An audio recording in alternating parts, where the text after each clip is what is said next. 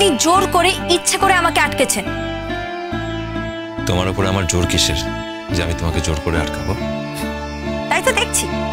যতবার আমি এই বাড়ি ছেড়ে যেতে চেয়েছি ততবার আপনি কোনো না কোনো অজুহাতে আমাকে আটকে রেখেছেন। আমি শুধু সত্যি কথাটা বলেছি তোমাকে জোর করে আটকাইনি।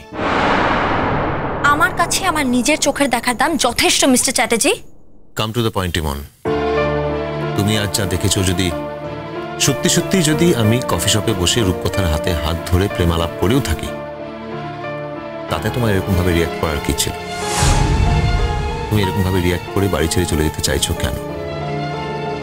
তুমি যদি আমাকে এই প্রশ্নের উত্তরটা বুঝিয়ে দিতে পারো আজ তাহলে আমি কথা দিচ্ছি। ভবিষ্যতে আর কখনো তোমাকে আমি আটকাবো না। কি বললেন আপনি?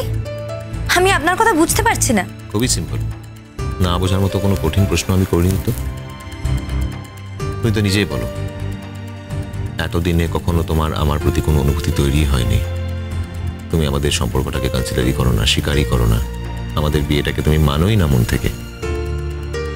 এটা একটা ডিল যে ডিল ছেড়ে তুমি যে কোনো সময় বেরিয়ে যেতে পারো। তাহলে?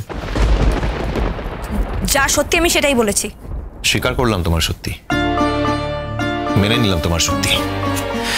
কিন্তু তোমার সত্যিটা মেনে নেওয়ার পর আমার মনে একটা প্রশ্ন জেগেছে আমি তার উত্তর চাই। কি প্রশ্ন? তুমি যখন আমাদের এই সম্পর্কটাকে কখনো স্বীকার করনি মাননি তাহলে তুমি এরকম ভাবে রিয়াক্ট করলে কেন? আমাদের অ্যানিভার্সারি দিনকে তুমি যেরকম ভাবে আচরণ করলে সেখান থেকে স্পষ্ট যে আমাদের বিয়েটাকে তুমি কখনো মাননি আর জীবনে মানবেও না। বারবার এক কথা বলে আমার কথা এখনও শেষ হয়নি। প্রশ্নটা সেখান থেকেই জানি তুমি যখন আমাদের সম্পর্কটাকে স্বীকার করো না তাহলে তুমি এরকম ভাবে রিয়াক্ট করলে কেন? তোমার কি আসে যায়? আমি কার সঙ্গে কফি শপে বসে হাতে হাত ধরে কথা বললাম তাতে?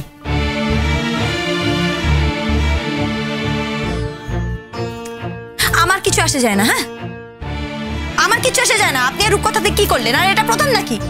এর আগে হয়তো আপনারা হাতে হাত ধরে কথা বলেননি কিন্তু তা বলে তো এটা নয় যে আপনাদের মধ্যে ঘনিষ্ঠতা কিছু কমে গেছে। আপনারা দুজনে মিলেই দাদাভাইকে ঠকাচ্ছেন। তোমার মুখ থেকে কথাটা আমি শুনতে চাই না আমি দাদা ভাইয়ের মুখ থেকে শুনতে চাই। আমার যা বলার ছিল আমি স্পষ্ট দাদাভাই সামনে বলে দিয়েছি। এখন দাদাভাই কি করবেন? দাদা ভাইয়ের উপরে। তুমি আমার প্রশ্নের উত্তর দাও। বারবার এক কথা বলছেন আপনার কি প্রশ্ন? কি উত্তর দেবো আমি? শুধু এরকম একটা ঘটনাতে রিয়াক্ট করে তুমি চলে যেতে চাইলে কেন তাহলে ইমন? সেই জন্য আপনি আমাকে আটকে রেখেছেন। এটা কিন্তু আমার প্রশ্নের উত্তর হলো না।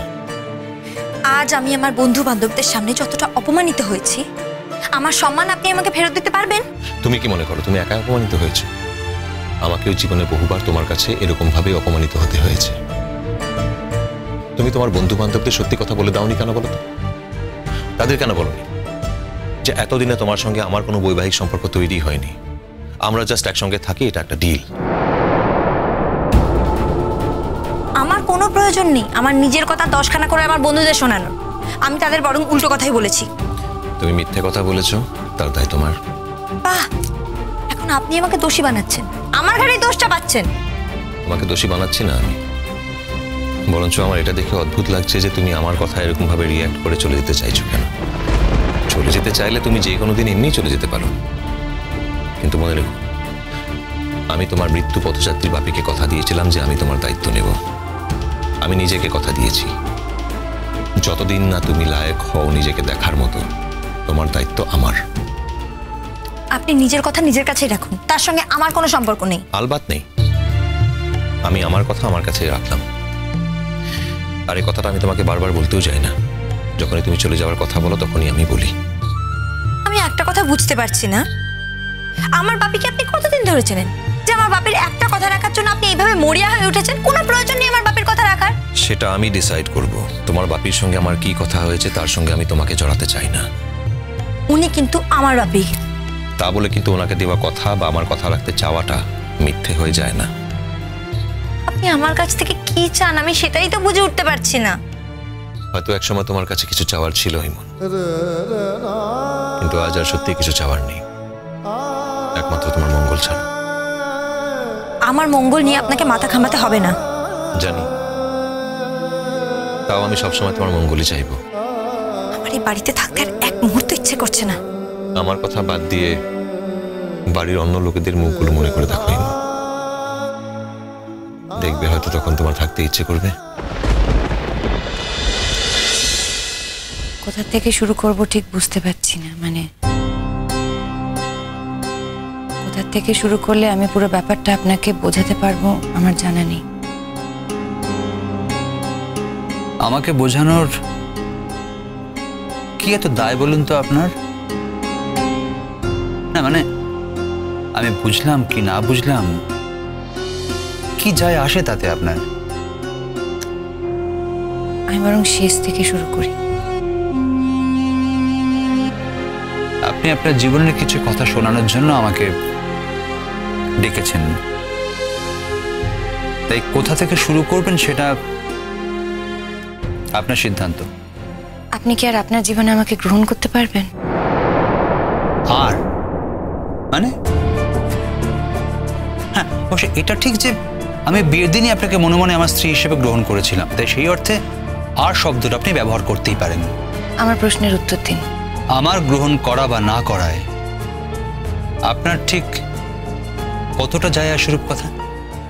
আমি এই সম্পর্কটাকে অ্যাকসেপ্ট করতে চাই। কোন সম্পর্ক? আমার আর আপনার সম্পর্ক? সম্পর্ক কিছু হয়নি তো? সামাজিক দিক থেকে আইনের দিক থেকে আমরা কিন্তু স্বামী স্ত্রী। আমি কোনোদিনই খুব একটা সামাজিক লোক নই রূপকথা। বরং চিরকালে আমি একটুখানি সমাজের বাইরে থাকা লোক। সমাজের যে কাজটা মানুষ যে সময় করে আমি সেটা করিনি। আপনার সঙ্গে অনেকটা দেরিতে দেখা হয়েছে আমার। তা আপনি যে সমাজটার কথা বলছেন, আমি সেই সমাজটাকে ততটা গুরুত্ব দিই না। আর আইন।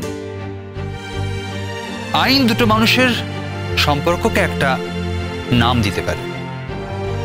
একটা বৈধতা দেয়, তকমা দিতে পারে। আবার সেটা ভাঙতেও পারে। জীবনে কোনো কিছুই অবিনশ্বর নয় রূপকথা। জীবনে কোনো কিছু চিরস্থায়ী নয়। আমি নতুন করে শুরু করতে চাই। হঠাৎ অকারণই দয়া? আমি আপনার উপর দয়া করার কি? আমি আপনার উপর দয়া করছি না তো? আমি শুধু আমার নিজের ইচ্ছের কথা আপনাকে জানালাম। আর হ্যাঁ এটা কিন্তু আমার ইচ্ছে। তবে আপনাকে আমার ইচ্ছের দাম দিতে হবে তার কোনো মানে নেই। আপনাকে আমার জানানোর কথা ছিল তাই জানালাম। তাই আগে রনর সাথে কথা বলে তারপর আমার কাছে এলেন। তাই তো? রনর সঙ্গে কথা বলাটা আমার জন্য জরুরি ছিল। আচ্ছা আর যদি ঘটনাচক্রে এমন হতো যে রণ আপনার প্রস্তাবটা গ্রহণ করল বা গ্রহণ করার আশ্বাস দিত তাহলে কি আজ আপনি এখানে এসে আমার কাছে ঠিক এই কথাগুলোই বলতেন? রণ আমাকে গ্রহণ করবে না সেটা জেনেই কিন্তু আমি রণর সঙ্গে দেখা করতে গিয়েছিলাম। এই কথাটা বোধহয় আপনার জানা নেই। আমার জীবনের একটা সমস্যা আছে। আসলে জীবনের সমস্যা নয় আমি মানুষটার একটা সমস্যা আছে। আমি না খুব এক পক্কা যাকে বলে ওয়ান ডিমেনশনাল আর আমি রণকে সত্যিই ভালোবেসেছিলাম। ভালোবেসে ছিলাম কেন বলছেন? ভালোবাসেন কেন বলতে পারছেন না?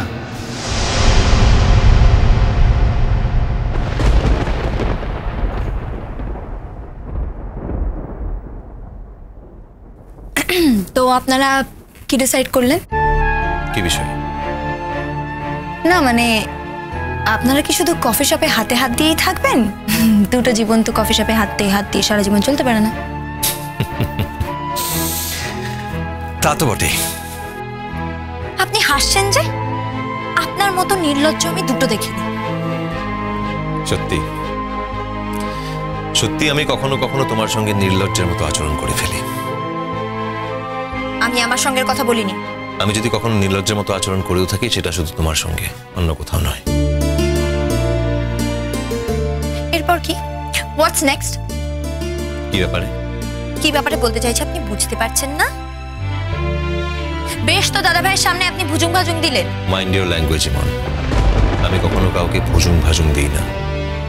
আর এই ভুজুং ভাজুং দেওয়ার প্রয়োজন আমার জীবনে কখনো পড়েনি। আমি না একটা কথা কিছুতেই বুঝতে পারছি না। শুধুমাত্র দাদাভাইয়ের বউ বলেই কি আপনি রূপকথা দিকে অ্যাকসেপ্ট করতে পারছেন না? তাকে স্বীকৃতি দিতে পারছেন না? দাদাভাই তো এসেই ছিল রূপকথা দিকে মুক্তি দেওয়ার জন্য। তার মানে একই বাড়িতে এক ভাই যে মানুষটাকে মুক্তি দেবে, সেই বাড়িতে তারই ভাই সেই একই মানুষটাকে গ্রহণ করবে, সেটা সামাজিকভাবে ভালো দেখাবে না, লোকে খারাপ ভাববে। তাই বোধহয় আপনারা দুজনে ডিসিশন নিতে পারছেন না, তাই তো? এটা কি তোমার প্রশ্ন? হ্যাঁ এটা আমারই প্রশ্ন। যদি এটা তোমার প্রশ্ন হয়ে থাকে তাহলে তার উত্তর দিতে আমি বাধ্য নই। সেই উত্তর দেওয়ার দায় আমার নেই।